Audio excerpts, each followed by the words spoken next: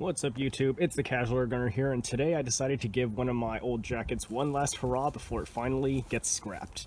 As you can see, this leather jacket is flaking. The material under it is still intact and still solid, but it's you can't wear it anymore.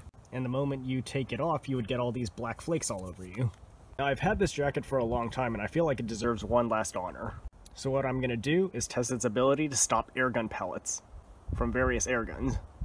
I have a piece of cardboard set up inside the jacket right here, so we'll be able to see if any of the pellets go through and then go into the cardboard. Of course, we're going to be testing everything ranging from a spring BB gun to a PCP-22.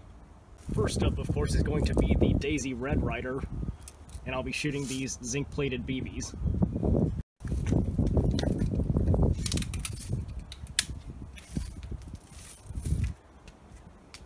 All the shots are going to be from 5 feet away.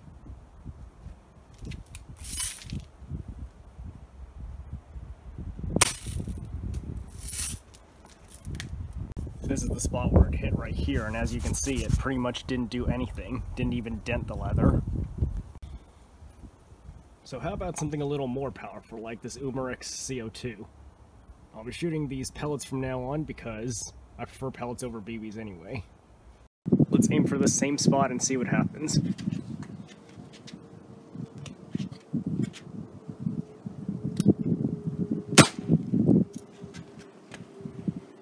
Well, you can see the pellet definitely made a tear, but it still didn't go through. Now we're going to move up into the territory of airguns people actually use to hunt stuff sometimes. Let's try the Crosman American Classic, shooting the same 177 caliber pellets.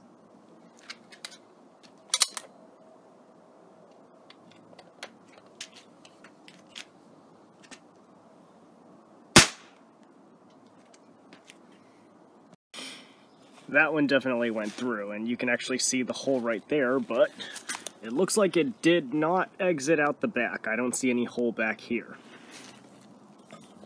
Now, I'm pretty sure this one's going to go all the way through the jacket. Next one is going to be my Daisy Powerline 880 at 10 pumps.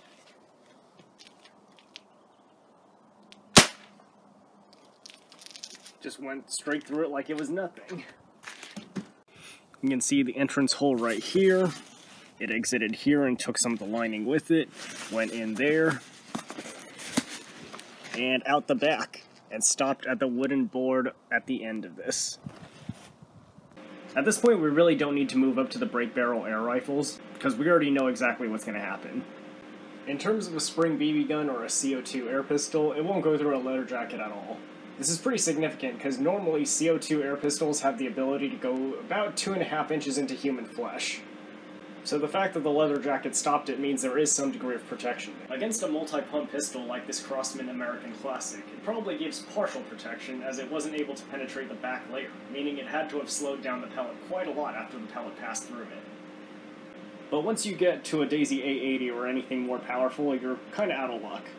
This just goes to show how ridiculous it is when people claim that, oh, somebody wearing a leather jacket might not feel a 22. This is a 22 long rifle round and it's 10 times as powerful as the Daisy 880, and the leather jacket didn't stop the Daisy 880. So would a leather jacket actually provide any kind of ballistic protection? The answer is actually yes, but not significant enough to stand up to any firearms. Now, if someone just comes up to you and starts shooting you with a CO2 airgun, which has happened to some people, the leather jacket will stop the pellets from going into you. But against air rifles and firearms, it's not going to do much. Anyway, I hope you enjoyed the video. Like it if you did. Check out my channel if airguns are your thing. Thanks for watching.